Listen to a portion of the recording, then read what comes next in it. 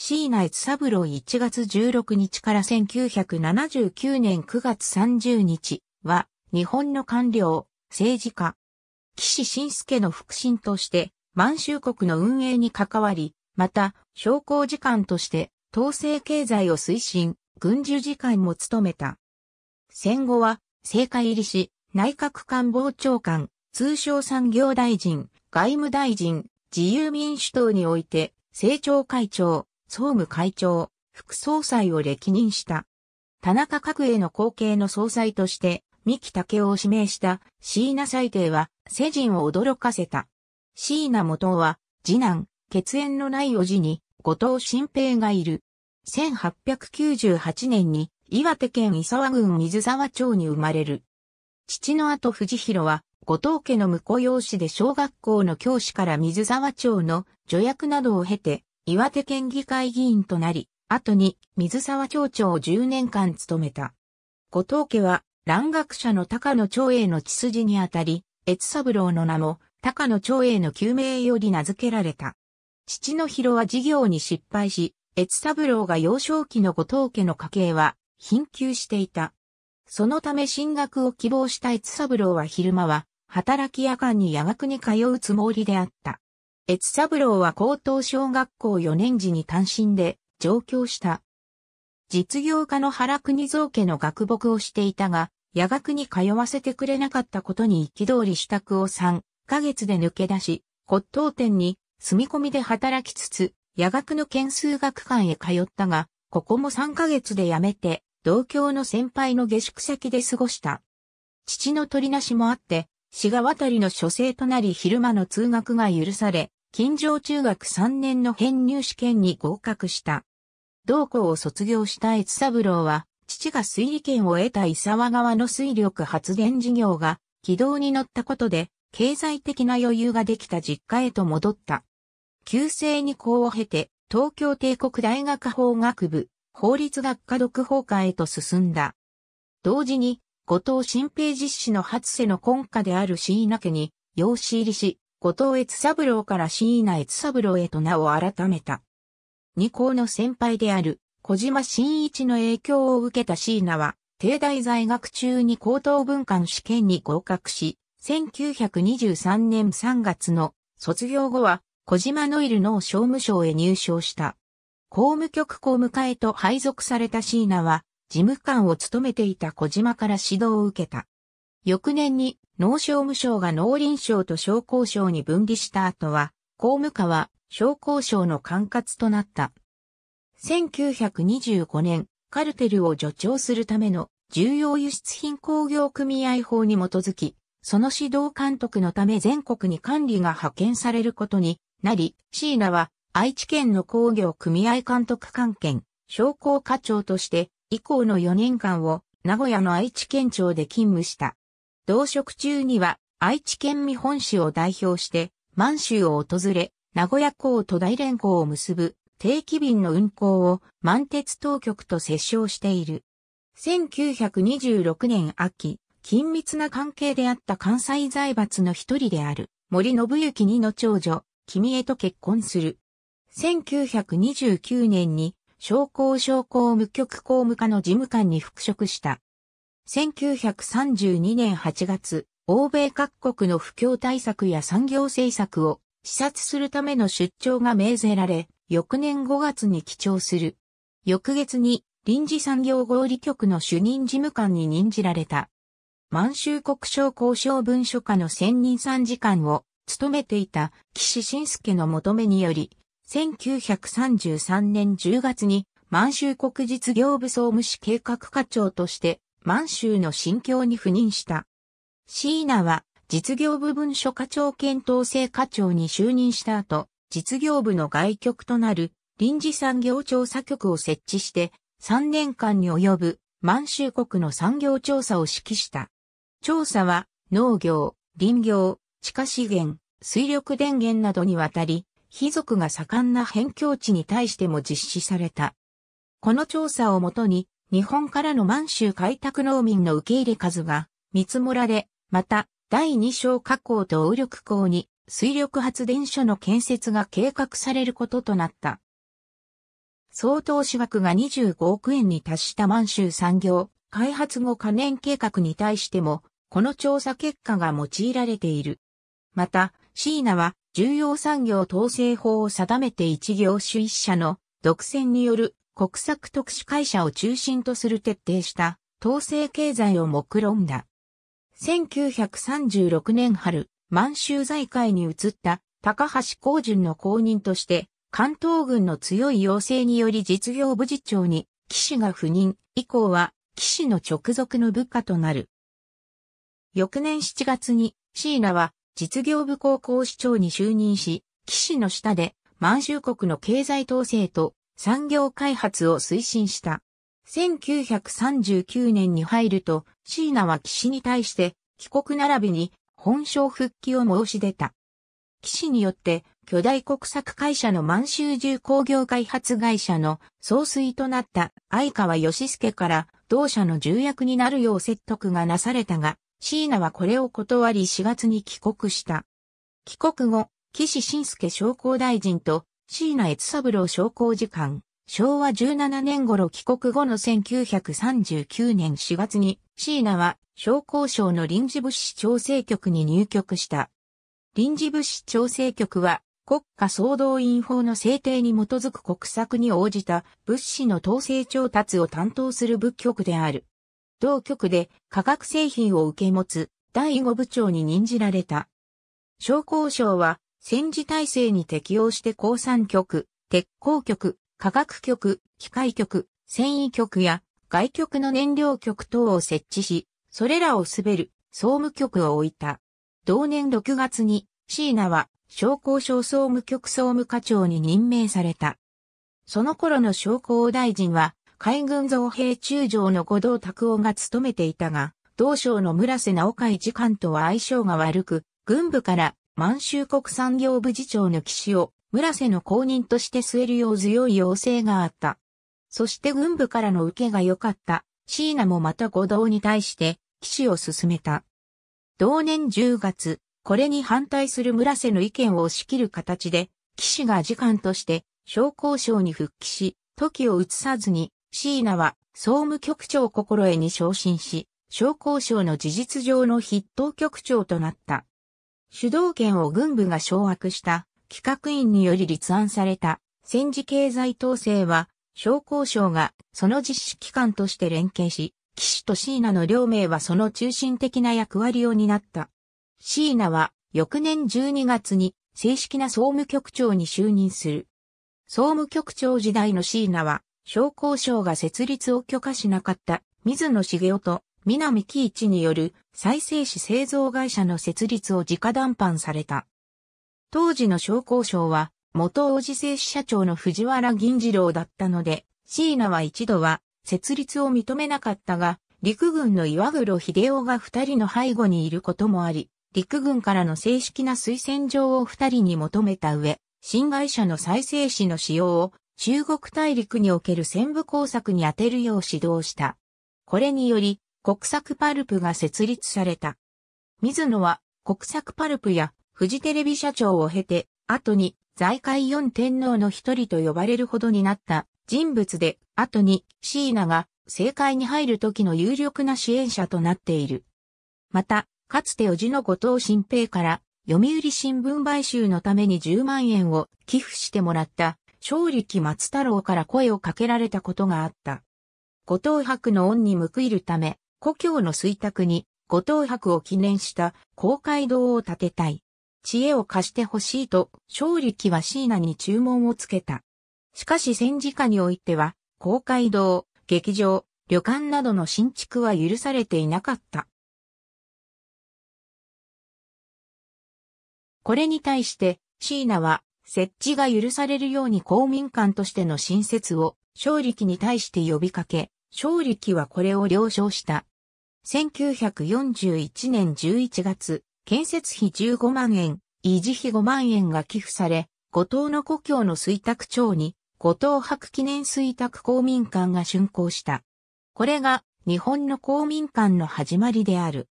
1940年7月、第二次、この絵内閣が発足した。同内閣の小林十三商工省は企画院と商工省が主体となってまとめた経済身体西洋公案に激しく反対し、これを推し進める革新官僚を非難した。革新官僚の代表的存在である岸と小林との対立は深まり、同年末に岸は時間を更迭された。また、平沼喜一郎内務大臣の意を受けた検察は、同じく革新官僚の拠点である企画院でも強制捜査を行い、稲葉秀蔵、和田博、勝又誠一、佐田忠宝を治安維持法違反容疑で逮捕した。岸の公認の商工省時間には椎名が推した小島真一が就任し、椎名は献身的に小島を補佐した。1941年10月、東条秀樹内閣が発足すると、岸は商工省に就任した。岸により椎名は商工時間へと抜擢された。日米海戦に伴い岸大臣、椎名次官のコンビは、軍部と協調して厳しい戦時統制経済政策を推進した。小林によって中断していた経済新体制確立要項によって重要産業団体令が施行され、各業界に統制会が設立された。また、1942年4月の翌参選挙を経て、企業整備令が制定され、平和産業の全面的な軍需工業化が推進された。繊維工場から兵器工場への転用が頻発し、多数の中小企業は整理統合されて、軍需工場の下請けとなり、転廃業を強いられた。この企業整備令に対しては、鳩山一郎らの一部の議員から反対されたが、椎名は商工省を支援し、翼賛政治会とも深いつながりのある商工委員会を用いて議会に対処した。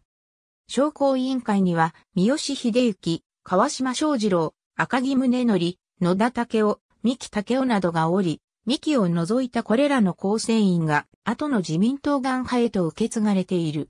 三好や川島を岸へ紹介したのも、椎名である。1943年11月に軍需省が創設されると、東条首相が軍需大臣を兼務し、岸が国務大臣兼軍需次官に就任した。椎名は軍需省総動員局長となり、また陸軍事政長官を兼務した。1944年7月、岸が起こした閣内不一致により、東条内閣が退陣に追い込まれ、岸は国務大臣兼軍事次官を退いた。椎名は総動員局長を留任する。1945年4月、鈴木貫太郎内閣の発足に伴い、椎名は軍需次官に昇進した。終戦後の同年8月26日に、軍需省は廃止され商工省が復活した。東国宮内閣で軍需省に任用された中島筑平の強い要請により、椎名は商工時間へと服した。椎名は省内に在籍していた軍人の整理をなし、戦後の経済再建に向けた新たな組織構築を依頼された。省の再編業務が落ち着きを見せ、東国宮内閣の退陣に合わせて、同年10月12日に、昇降時間を体感して官職から退いた。岸は永久戦犯容疑者として逮捕の上、菅鴨小内署に収容された。椎名もまた、市ヶ谷の米軍検事から8回にわたる取り調べを受けたが、岸の支障になる証言は全くしなかった。椎名は1947年11月に公職追放を受ける。岸が釈放された後は、アメリカ軍政庁に対して、岸の公職追放解除を懇願した。公職追放を受けた椎名は、同月に、郷里の人々の強い要請により、盛岡市に本社がある東北新興繊維工業株式会社の取締役社長に就任する。同社は翌年3月に東北毛織株式会社に社名を改めた。椎名は大東暴食の東京金町工場を買収し、その機械の購入や新たな技術者を雇用した。この財源に復興金融金庫の融資を目論んだが、1949年にインフレ抑制政策としてドッジラインが実施され、復興金融金庫の融資は廃止されてしまった。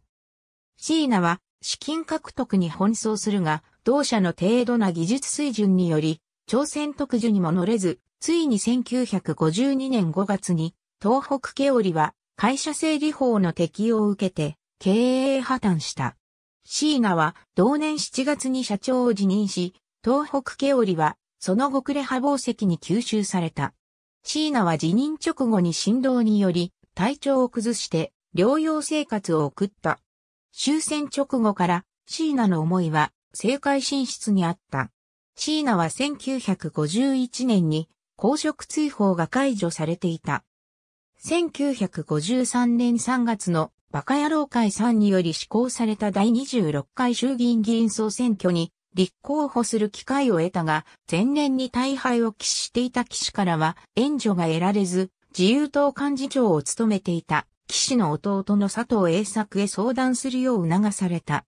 椎名は佐藤と面会して自由党の公認を求めたが、了承されず、党の選挙対策責任者の小沢佐伯を紹介された。椎名は小沢の元を訪れたが、選挙区の岩手県第2区はすでに3名の自由党の公認が決まっており、小沢は椎名の公認を断った。また、海進党の滋賀県次郎も当選を重ねており、社会党左派の北山義夫も労組を主体とした強力な支持があった。やむなく、椎名は無所属で挑むものの結果は惨敗し、さらに選挙違反容疑で警察から追われたが、椎名はこれを逃げ切って不起訴となっている。日本民主党の幹事長となっていた岸の誘いで1955年の第27回衆議院議員総選挙に日本民主党の公認を受けて再び立候補した。今回は岸の全面的な支援を受け、また豊富な選挙資金を得ての選挙となった。さらに日本民主党は鳩山ブームが後押しをした。椎名は何とか最下位に滑り込んで当選する。3月に第二次、鳩山一郎内閣が組閣された後、椎名は日本民主党政調副会長に就任し、衆議院運輸委員会に所属した。同年11月に民主党と自由党が合同して自由民主党が発足し椎名は自民党の所属となった。1957年2月、石橋内閣が石橋丹山首相の病により倒れると第一次元内閣が組閣された。当選一回ながらも商工省出身で産業界に人脈があることを川島昌次郎幹事長に見込まれて、椎名は党の経理局長に就任する。椎名が経理局長についてからの自民党に対する財界からの献金は旧来の2億円から10億円まで広がったと伝えられている。1958年の第28回衆議院議員総選挙では再び再開ながらも当選を果たした。1959年6月に発足した第二次元内閣では、当選2回ながらも内閣官房長官に就任した。岸は椎名の起用について最大の仕事となる新安保条約締結に向けた人選であると説明した。内閣のスポークスマンであったが、記者会見では記者団の質問に対して細かいことは総理に聞いてくれと発言する一方で、日米安保条約改定で岸を支えた。1960年6月、新安保条約の成立を機に、岸内閣は退陣する。椎名は後継の総裁として池田隼人を推し、岸派と佐藤派の支持を受けた池田は総裁選に勝利した。第一次池田内閣では、椎名の池田支援が評価されて岸派を代表して自民党政務調査会長に就任した。10月に池田は衆議院を解散、第29回衆議院議員総選挙が施行され、椎名は3度の再開当選となった。選挙後に組閣された第二次池田内閣では、通商産業大臣として入閣した。通産省となった椎名は、自身の選挙違反問題を野党に追及された。椎名の陣営は毎回違反者を出しており、また、1958年の選挙で買収容疑をかけられた総括主催者兼水筒責任者の松川正蔵が夫人と共に逃亡した上、全国に指名手配されていた。国会で椎名は松川夫妻をどこかにかくまっているものとして救命が求められたが、椎名はこれを否定した。しかし実際には松川夫妻は椎名の知人の企業経営者の社宅にかくまわれていた。椎名はこの選挙違反問題が自身の政治活動に与える影響を考慮して、1961年6月の内閣改造による大臣からの退任を機に、松川夫妻に実習を求めて事件の幕引きを図っている。1962年3月、松川夫妻に対して買収の有罪判決が言い渡された。椎名夫人の君へと椎名の秘書2名は逃亡中の夫妻の生活資金を供与し、また、椎名の知人は潜伏場所を提供していたことが認定され、それぞれ犯人増徳の罪で有罪判決を受けた。新聞市場では、椎名の道義的責任を厳しく問う論説が掲載された。1962年11月、新たに福田武雄の派閥を作ろうとした岸は、10日会の解散を宣言した。これに対して、川島昌次郎を中心としたグループが、福従せずがん派は分裂する。福田焼氏の反池田方針に納得のいかない椎名は、両者とたもとを分かち交友クラブに参加した。川島派は、川島と椎名の他に、赤木宗則、藤枝仙海、浜野聖吾、荒船清十郎、長谷川史郎、秋田大輔などの衆議院、議員19名で結成された。川島と椎名は戦前から関わりがあり、また二人は後藤新平を介しての親類や側近としてのつながりも持っていた。またこの頃の椎名は、三木武雄を会長とする三木調査会にも積極的に参加している。1963年11月の第30回衆議院議員総選挙では初の2位当選を果たした。この選挙について椎名は初めて何一つ違反のない選挙をやり、すがすがしい気分だったと回想した。1964年の自民党総裁選は、池田と佐藤栄作によって争われ、川島派は池田を支持した。総裁選は激戦となったが池田が制して3、選された。池田は川島を副総裁に据え、椎名は第3次池田改造内閣の外務大臣に就任した。外相に就任した際はマスコミからは、奇想天外人事と評され、本人も、なんで、こんな人事を考えやがったんだと、外相就任に難色を示していた。この人事は、前尾重三郎の強い推薦によるものであったとされる。同年9月、池田首相が、高頭癌により入院し、10月25日に退陣が発表された。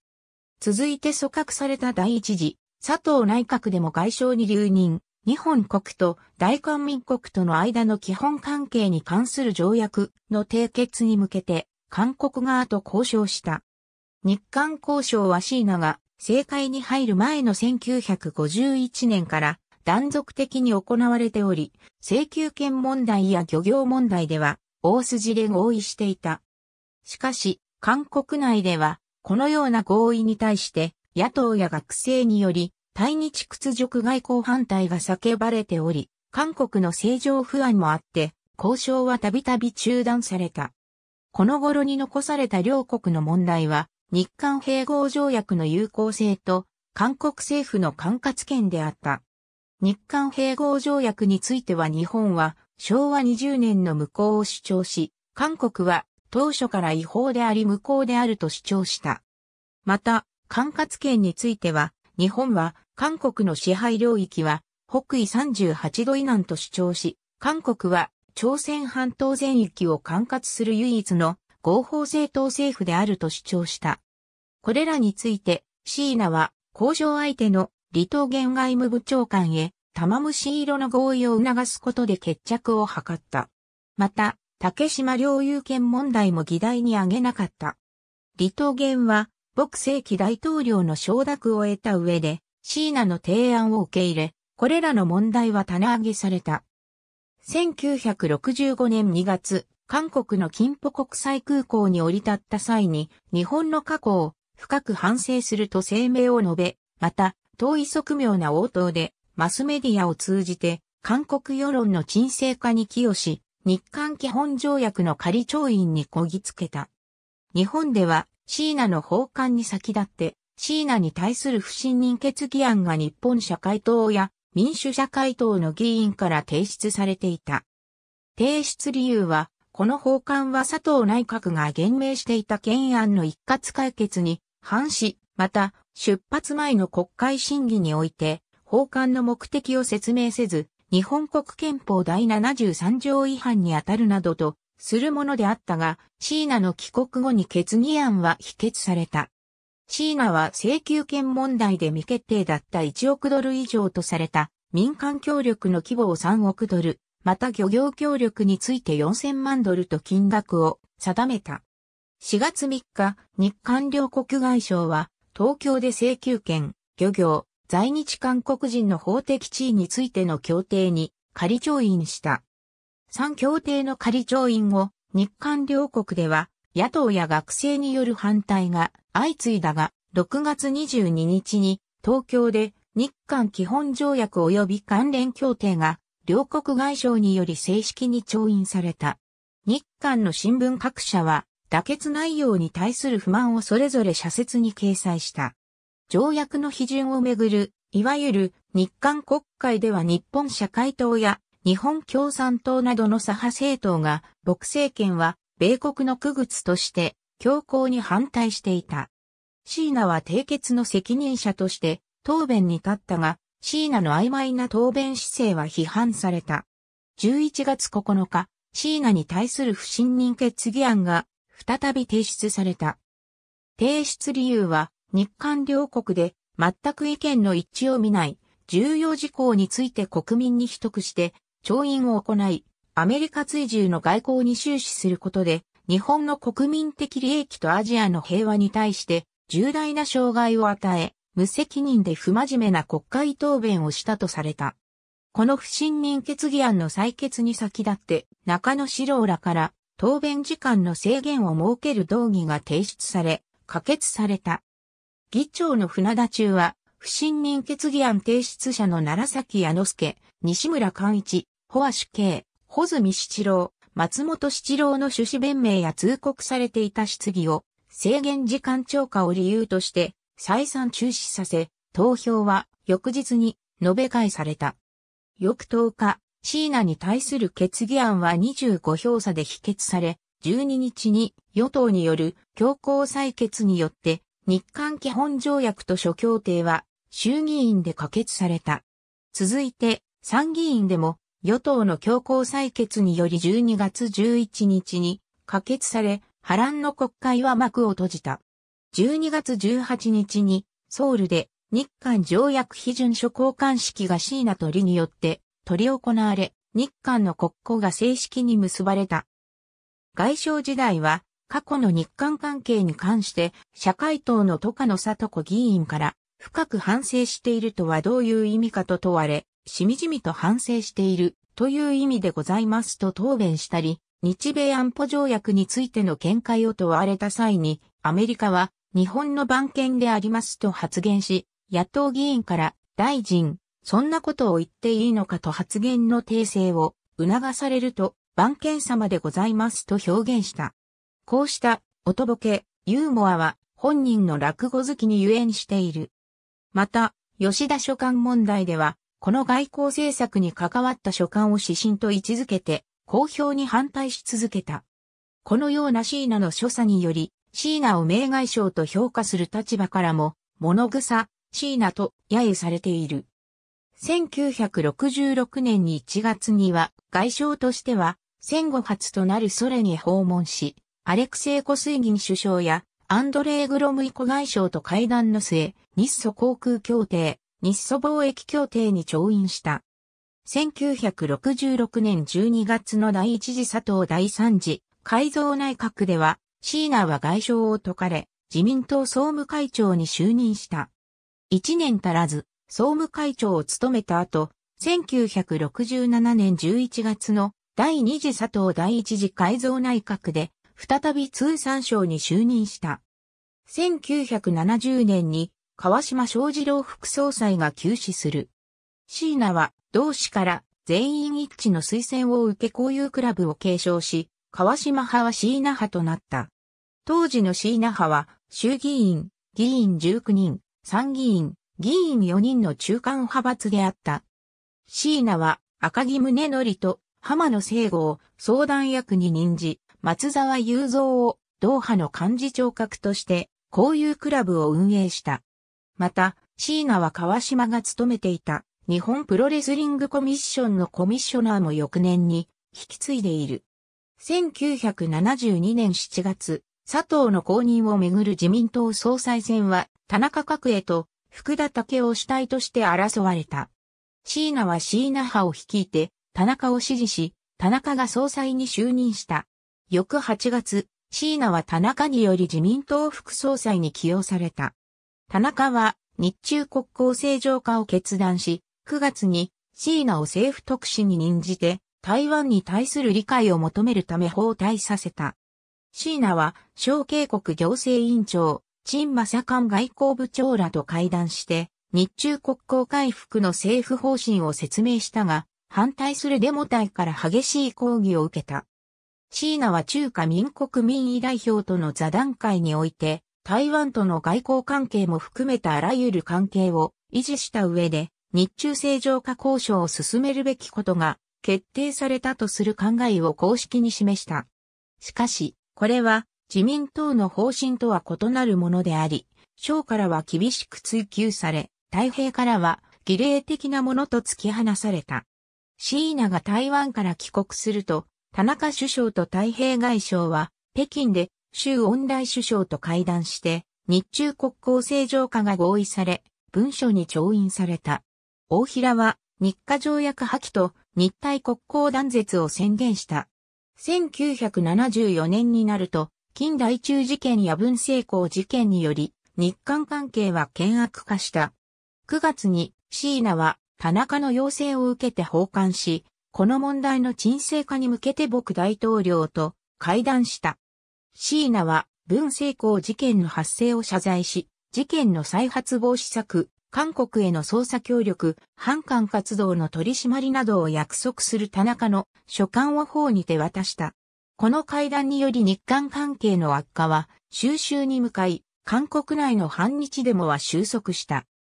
椎名裁定1974年7月の第10回参議院議員通常選挙で自民党は不調に終わり、三木武夫副総理と福田武夫蔵相は田中角栄首相の政治手法を批判して辞任し、田中内閣は苦境に追い込まれた。椎名は田中に党改革を進言した。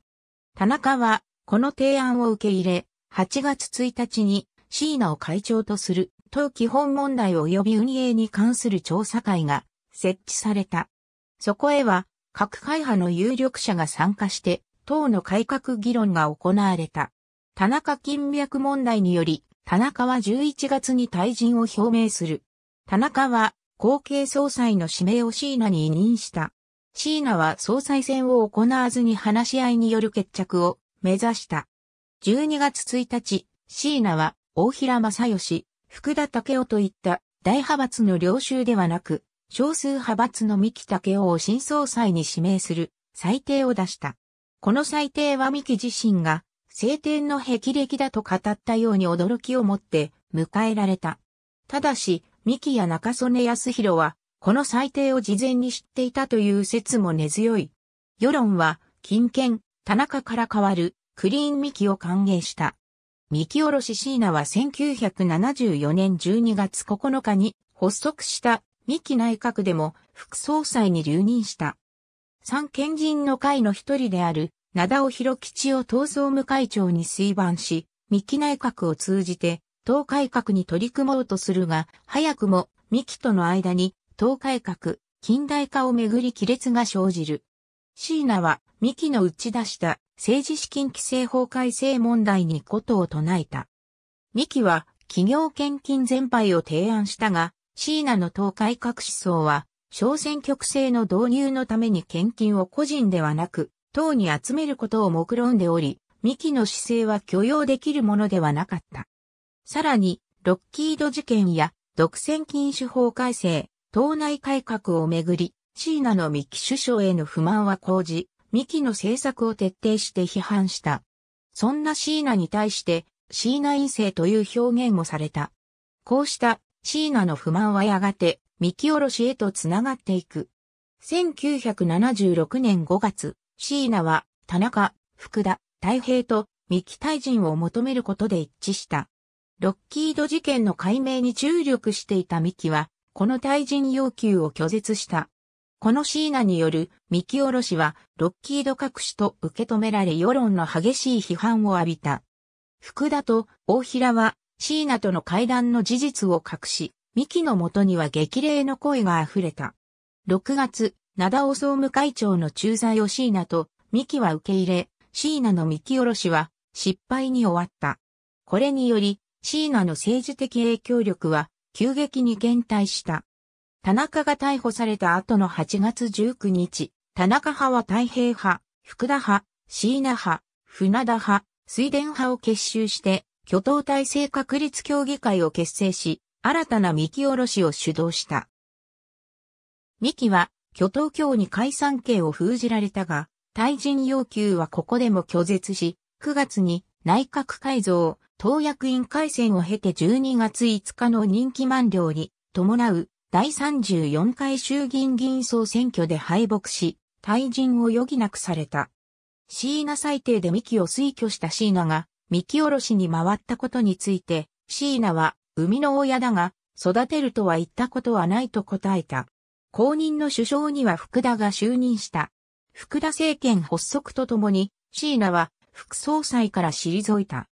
1979年の第35回衆議院議員総選挙には出馬せず、次男の元に地盤を譲り、政界を引退した。その選挙期間中の9月30日に入院先の慶応病院で死去した。81歳没。椎名の人となりは物草で寡黙、暴用、内気な性格として知られ、その様は暗闇の牛と形容された。